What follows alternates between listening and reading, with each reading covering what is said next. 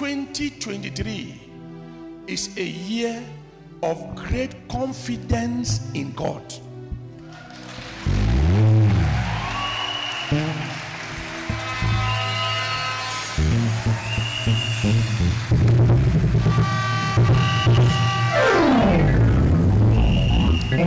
A year of great confidence in God.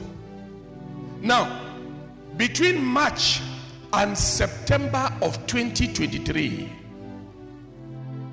hear me and hear me well. The world will be like standstill. The world. Why? Because of so many strange happenings. There will be so many strange happenings. Strange happenings. Because of so many strange happenings, the world will be like standstill. Especially in nations that have abandoned God. Especially in nations that have abandoned God. If your nation is one, be ready for strange happenings.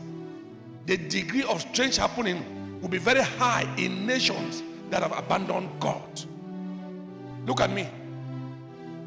We know of land reclamation. Am I correct? You're reclaiming land from the river, reclaiming land from the sea. Am I correct? But in this year, we are going to see the reverse. We will see sea and river reclamation. The sea, the river will reclaim land. Hills will be divided. And you will see, I mean, hills will be divided.